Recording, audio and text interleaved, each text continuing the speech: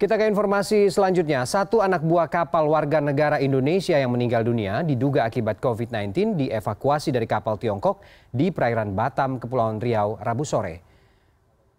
Kapal Kalimasada P115 milik Pangkalan Penjaga Laut dan Pantai Kelas 2 Tanjung Uban mengevakuasi 5 ABK WNI asal Jawa Tengah dari kapal MV Haijili. Kepala Operasional Pangkalan PLP Kelas 2 Tanjung Uban, Dedi Surahmat mengatakan sebenarnya ada 6 ABK yang dievakuasi, namun satu orang masih ditahan pihak kapal MV Haijili karena berperan sebagai juru bicara mereka. Dari 5 ABK WNI, satu orang bernama Wendy Setia Pratama meninggal di kapal diduga akibat COVID-19.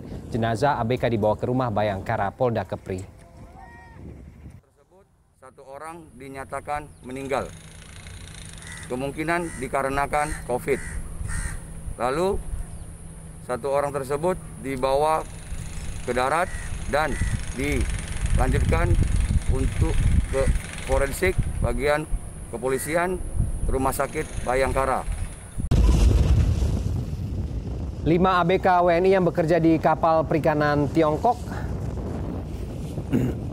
Hangrong 361 dipulangkan pemerintah Indonesia melalui Kementerian Luar Negeri karena sudah selesai masa kontrak kerjanya Juli lalu.